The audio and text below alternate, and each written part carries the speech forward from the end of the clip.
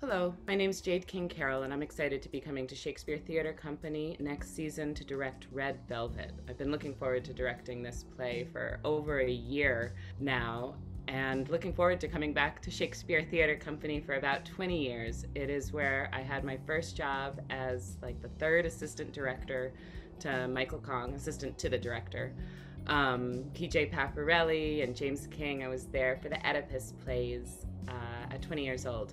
So it is with great pleasure to be coming back to DC and to do this play that's so timely and poignant and a love letter to the theater and also a reminder, a call to arms about moving forward, the importance of storytelling, um, agency of storytelling, and yeah, who gets to tell the story. Um, this play is so rich in what it offers, uh, both all of the creatives that get to work on it as well as the audience, because uh, Lolita has done such a wonderful job of, of weaving the Shakespearean text into this play.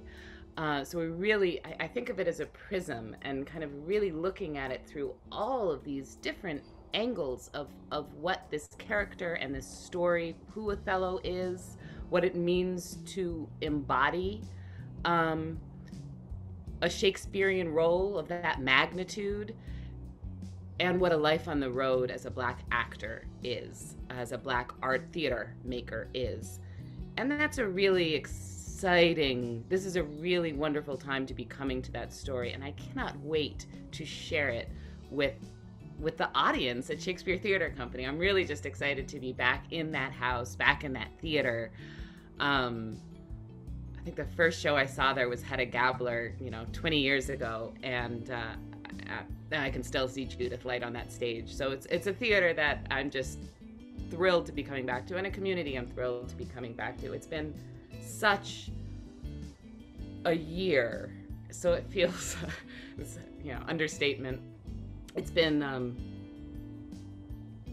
it's been a really hard time for theater and and and for the country and the world. Uh, so to come back with this play at this theater feels right. Uh, I can't wait to get there. I can't wait to create uh, the reality and all of the truths in this play and all of the magic. Um, I can't wait to create theater and to share it with, with everybody in DC.